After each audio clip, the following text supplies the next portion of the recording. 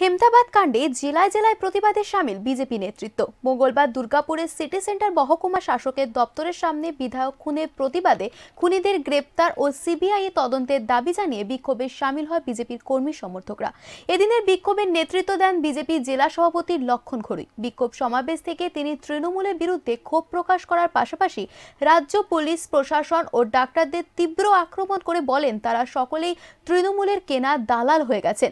তাই তাদের আর ভরসা করা যায় না। লক্ষণ বাবু জানান, বুধবার জেলার প্রতিটি থানায় বিজেপির তরফে ডেপুটেশন প্রদান কর্মসূচি পালন করা হবে ও আগামী ষোলো থেকে আঠেরো জুলাই পর্যন্ত জেলার বিভিন্ন জায়গায় বিক্ষোভ আন্দোলন প্রদর্শন করা হবে।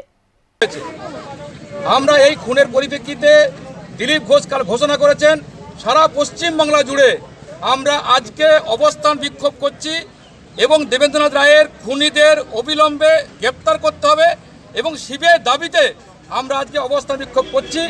আগামীকাল সারা জেলায় সমস্ত থানাতে ডেপুটেশন বিক্ষোভ হবে এবং ষোলো থেকে আঠেরো তিন দিন লাগাতার জেলা জুড়ে আন্দোলন, বিক্ষোভ, মিছিল, মিটিং হবে।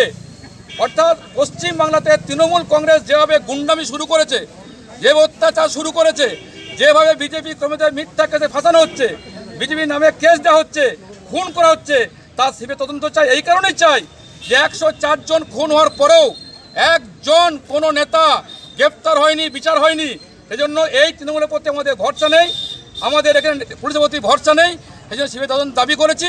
আর এই কারণেই আজকে আমরা বিক্ষোভে সামিল হয়েছে। শোন এখানকার পুলিশ, এখানকার ডাক্তার সম্পূর্ণ তৃণমূলে দালাল হয়ে গেছে। সেই জন্য আমরা জানি সেই কারণে দিলীপ ঘোষকাল বলেছিল যে ওখানে পোস্টমর্টমের সময় ভিডিও রেকর্ডিং করতে হবে। এখানকার পুলিশের প্রতি কোনো ভরসা নেই। এই আমাদের সিবিআই দাবিতে আমাদের বন্দে মাতরম এই রাজ্য জুড়ে তৃণমূলের সন্ত্রাসের বিরুদ্ধে এই সমস্ত মানুষ